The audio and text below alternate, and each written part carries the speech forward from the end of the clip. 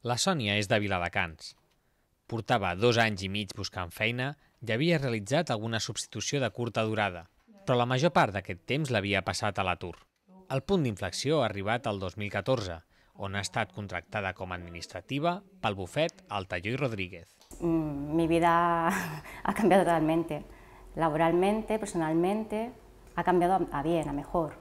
La Sònia ha estat una de les persones beneficiades pel projecte Fem Feina a Viladecans, una sèrie d'ajuts econòmics a les empreses per estimular la contractació de persones de la ciutat.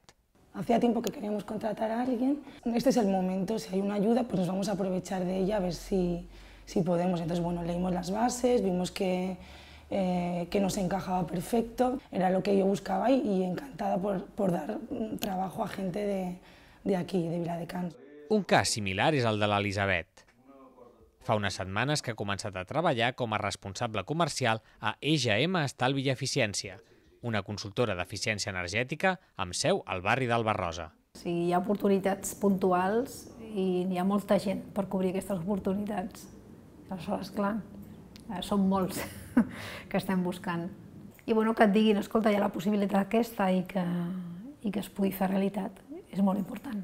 Les ajudes del Pla Fem Feina ofereixen una subvenció d'entre 1.200 i 1.600 euros mensuals durant 6 mesos per a aquelles empreses que contractin persones de Viladecans un mínim d'un any. Aquest pla també contempla una partida destinada a aturats que iniciïn un projecte empresarial com a autònoms. Gairebé un centenar d'empreses i autònoms ja s'han interessat per la proposta. I va ser una ajuda molt important a l'hora de prendre la decisió. Jo diria que clau.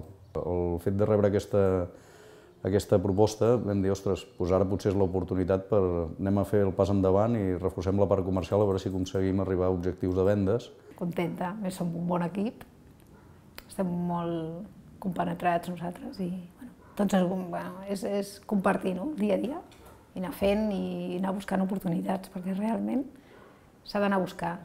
El termini per la presentació de sol·licituds finalitza el 30 de maig d'enguany. Els interessats poden trobar més informació sobre els requisits a la pàgina web i a les oficines de Can Calderón.